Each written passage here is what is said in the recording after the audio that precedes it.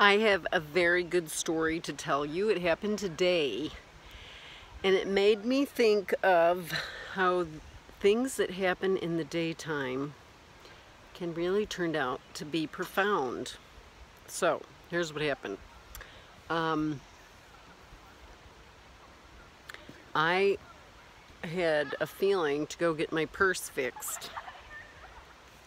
Here's my purse. I've had this purse for 15 or 16 years. I get a lot of compliments on it. I bought it in England. I didn't really know what I was spending until I got home and added up the euros. Anyway, it's very well made. So what happened today was I took it to a leather repair person. Now I've taken it in to one other place in the center of Silicon Valley and they wanted to fix it for $150. Now that seemed like a lot of money to me so I thought, I don't think so. So I took it to him. He took it from me, went back into his studio, pounded, smoothed, moved things around for about 10 minutes.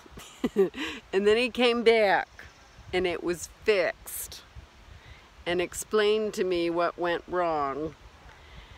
And I said, you know, this is the difference between a master and a beginner right here.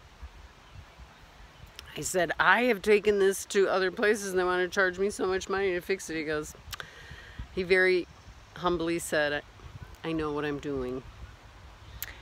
That's for sure. I'm giving him a five-star review on Google and he didn't charge me. He wouldn't let me pay him. So to me, that is very profound because he didn't have to do that. Now that's real caring. That's what a master does. They know how to fix something. They know it's going to take a few minutes. And instead of making up a whole story about it being $150, he said, I'll catch you next time.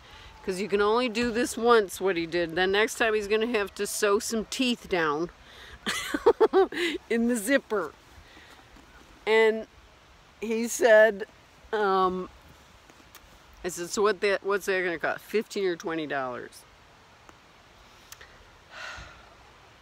So see, things like that can happen and make you go. See, Suzuki Roshi, here's what he said, the founder of Zen Buddhism, the first Zen Buddhist monastery in North America, which I visited several times in Tassajara.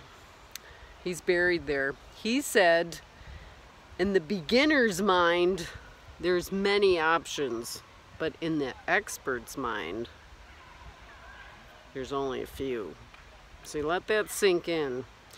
To me, that says when you're truly aligned and you know where you're going, you don't make all these other options happen. You don't worry that, oh, you might be missing something else, like a lot of people do, um, until getting aligned with your special gifts, what you're here to give to people and monetize so you can continue to live on this in this dimension before we pass on to the next one.